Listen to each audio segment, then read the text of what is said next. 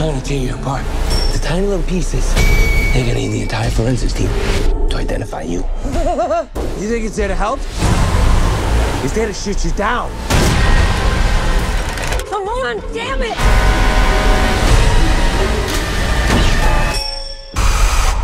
Y'all need a pilot?